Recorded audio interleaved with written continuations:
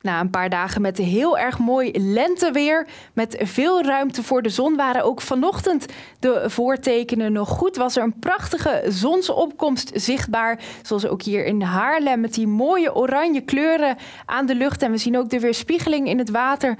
Er stond toen nog heel weinig wind. Daar kwam in de loop van de dag wel verandering in, want een regenzone bereikte ons land. Dus die zonneschijn werd verruild voor bewolking en ook de paraplu en regenjas kon weer tevoorschijn komen.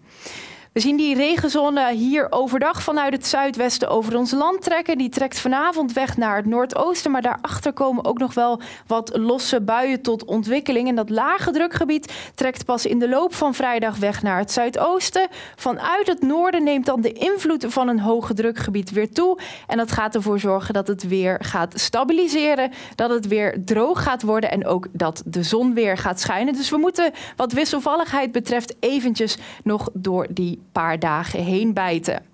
Vanavond dan ligt het zwaartepunt van de regen nog boven de oostelijke helft van het land. In het westen komen wat opklaringen voor, maar ook daar kan nog wel een enkel buitje tot ontwikkeling komen. Temperatuur ligt rond een graad of 8 met een matige zuidenwind. Vannacht dan trekt het zwaartepunt van de regen verder weg naar het oosten. Het blijft overwegend bewolkt met af en toe dan een bui of wat lichte regen. De temperatuur daalt door die bewolking ook niet heel sterk. Komt nauwelijks onder 6 graden uit met het aanhouden van die matige zuidenwind. Morgen overdag hebben we dan eerst met veel bewolking te maken. Af en toe komt er dan een losse bui voor. Dat lage drukgebied trekt geleidelijk weg naar het zuidoosten.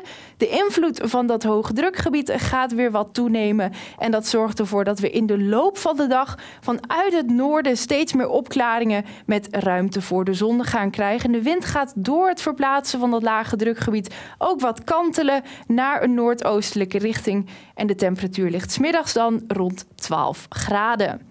Dan nog even vooruitblikken naar de wat langere termijn. Het lange paasweekend ook wat eraan zit te komen. En voor iedereen die die dagen vrij heeft, heb ik goed nieuws. Want vooral de zaterdag en de zondag zien er flink zonnig uit. Temperatuur rond 13 graden met niet al te veel wind. Maandag zelfs 15 graden. De dag begint zonnig, maar later gaat de bewolking toenemen. En maandagavond volgt er dan wat regen. En de dagen daarna is het weer wat wisselvalliger. Maar dat paasweekend ziet er dus flink zonnig uit.